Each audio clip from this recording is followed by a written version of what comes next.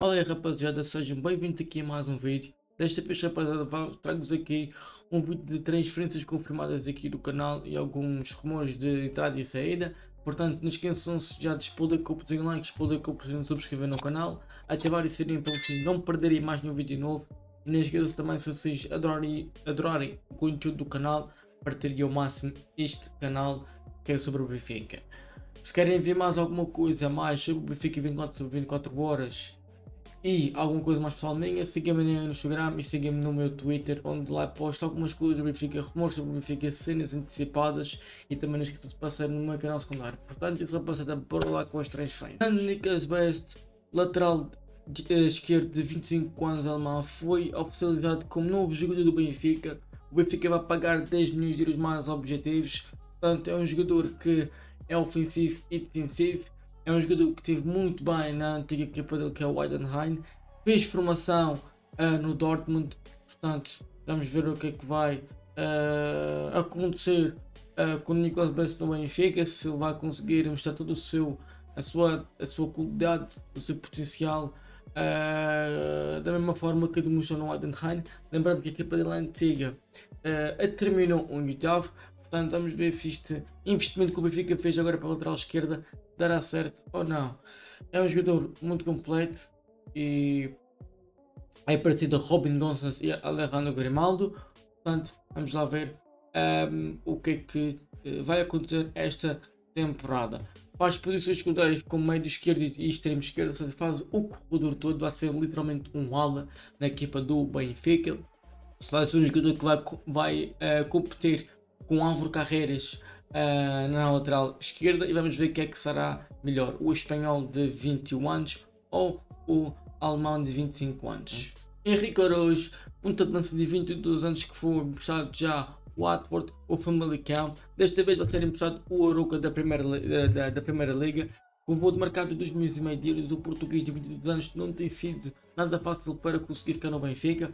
O empréstimo de um ano 100% confirmado, já foi confirmado por causa no Instagram do Aroca. O seu principal ponta de lança é um jogador do início, pá, havia muita expectativa em cima do Henrique Araújo, mas agora a expectativa está cada vez mais a aumentar, visto que o, o potencial dele não está a evoluir, está muito, muito, em, uh, está muito trancado o potencial dele e ele não consegue uh, mostrar o futebol que era esperado de nós o vermos jogar.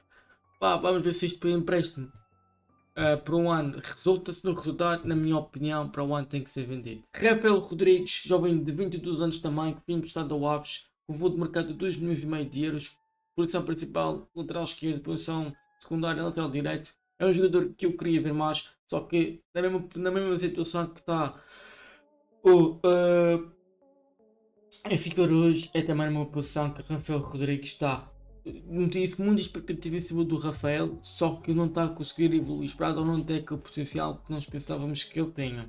Vamos ver o que é que vai acontecer a este empréstimo, já foi confirmado, portanto, bora lá ver uh, se Rafael Rodrigues vai ter uma época de sonho na equipa do Aves na Primeira Liga.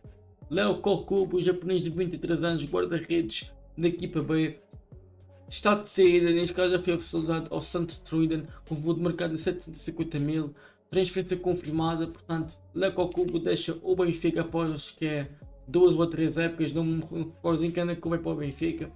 Eu acho que um japonês podia ter alguma qualidade, algum potencial, mas que não chegou para continuar aos quadros do Benfica. Timo Ward, guarda-redes de 31 anos, está livre do mercado, que já passou no colo foi apontado como possível reforço do Benfica com fundo de mercado de 800 mil, posição principal guarda-redes. Eu vou-vos dizer já, rapaziada. Já há muitos anos, desde 2017, 2018 e desde 2016, que os guarda-redes tinham um potencial enorme, só que não sei o que aconteceu, se foi não consegui mostrar o seu potencial, ou não era o guarda-redes que nós apelidássemos e era não consegui demonstrar o seu potencial porque eu tinha potencial para estar em grande numa das melhores equipas do mundo. Uh, pá, agora está livre do mercado e o Benfica quer um guarda-redes experiente. Há uns que apontam a Rua Barrena para o Benfica, mas vale-se lembrar que esse guarda-redes quer ir para uma equipa que, onde vai jogar todos os jogos. Portanto, acho difícil que esse Uruguai vai bater uh, ao Benfica. Timo Ward mais depressa veio a bater por causa da experiência dele. Já esteve na Bundesliga, já esteve em grandes equipas.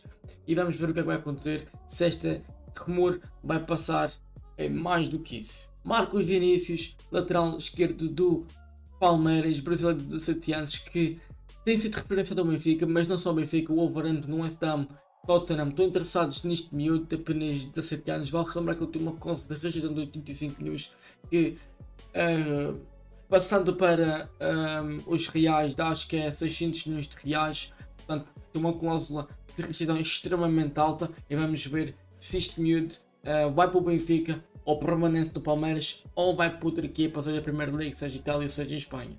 Tem muito mercado e vamos ver o que é que vai acontecer. É, poderá ser mais um, mais uma paira classe do Palmeiras, depois de Estevão, um, depois de Estevão uh, e Mas enfim, maltenha, este é o vídeo. Rebater cubos e like, rebater cubos de subscrever no canal. Se você ainda não subscrever, subscrever para me ajudar. O like serve para o vídeo ter mais engajamento, atrair mais gente aqui para o canal. Também não esqueçam de ativar o sininho para vocês receberem notificações todas as páginas dos vídeos novos do canal. E se vocês gostarem deste canal, principalmente, partilhem o máximo para de benfiquistas, vizinhos benfiquistas e etc. Também me sigam nas redes sociais, no Twitter, também no meu canal secundário e no meu Instagram. Portanto, isso rapaziada, até à próxima e fui.